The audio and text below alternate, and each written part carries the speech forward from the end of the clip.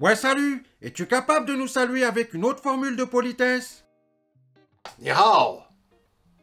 Qui est le docteur à l'ouest en trois mots? Euh, un type cool. Pour améliorer les conditions de vie de la population, t'es plus démocratie, démoskratos ou transhumanisme?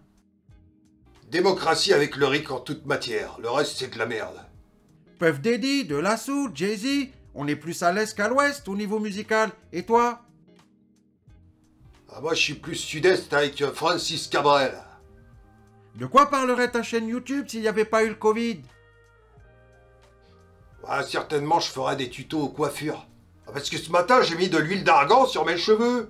Hein, les amis, vous en pensez quoi? N'hésitez pas à mettre un pouce et abonnez-vous, hein T'as trouvé où ton diplôme de docteur?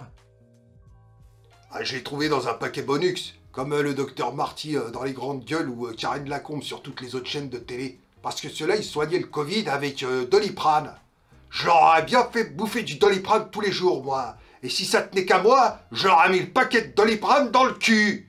Tu te retrouves enfermé dans la même pièce que Atali, Klaus Schwab, Bill Gates, tu fais quoi?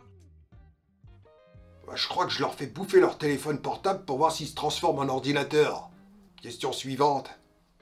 On te propose de remplacer Tedros à l'OMS. Quelles mesures mets-tu en place en premier? Ah, déjà, je fais venir euh, Marlène Schiappa parce que je trouve que ça manque un petit peu de connasse à l'OMS. Non, moi j'interdis le financement privé des gens, tu vois, quand ça devient trop important. Comme euh, Bill Gates par exemple.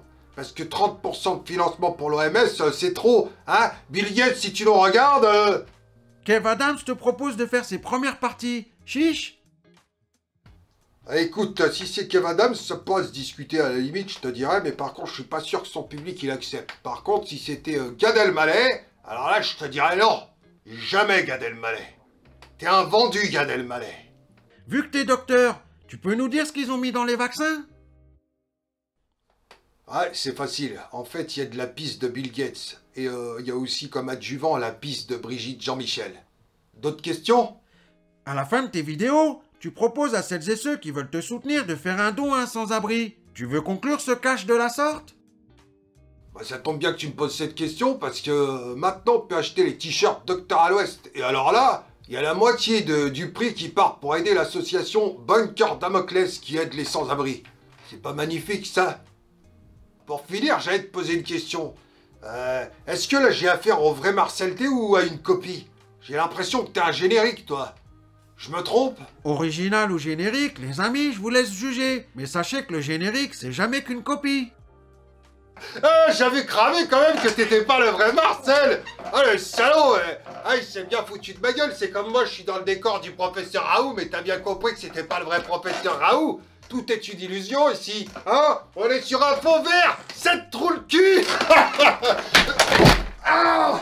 Heureusement que c'est pas toi qui m'écris les blagues, là.